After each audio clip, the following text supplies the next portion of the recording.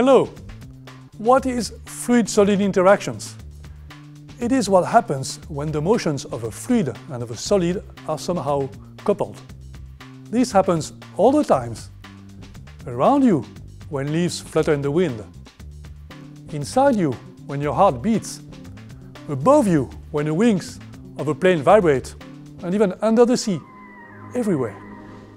Have you ever wondered how these interactions work? I have. My name is Emmanuel de Langre. I'm a professor at École Polytechnique near Paris in France.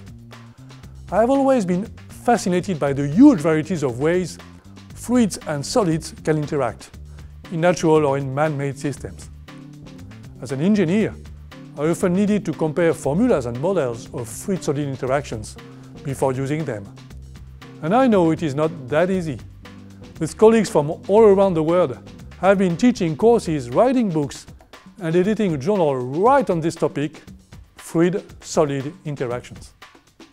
The idea behind this MOOC is to give you the basic tools to be able to predict and eventually mitigate things called flutter, galloping, sloshing, vortex-induced vibrations, added mass, to cite a few.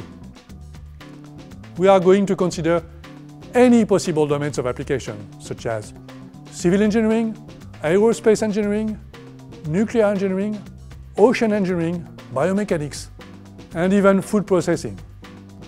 This is why we call the course Fundamentals of Fluid-Solid Interactions.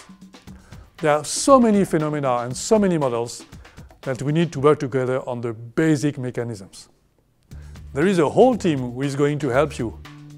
Here are Olivier, and Xavier. Hello! I will show you experiments related to the course, so that you see what happens in reality, not just in equation. We prepared experiments for you, and I will guide you to explain what happens and the connection to the lectures. To take advantage of this course, we'll go through progressive evaluation and peer-reviewed projects. There are plenty of materials in this course that I have prepared for you and I will be giving the lectures. We will go step by step to help you on the path. Other colleagues have prepared what we call research reports for you, so that you can see some example of what's going on right now in fluid-solid interactions in the labs.